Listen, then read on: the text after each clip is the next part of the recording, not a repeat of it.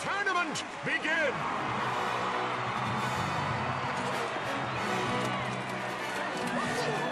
What is that?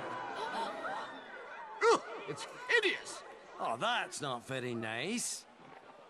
It's just a donkey. Indeed. Knights, new plan! The one who kills the ogre will be named champion! Have at him! Oh, hey, now come on. On now. Can't we just settle this over a pint?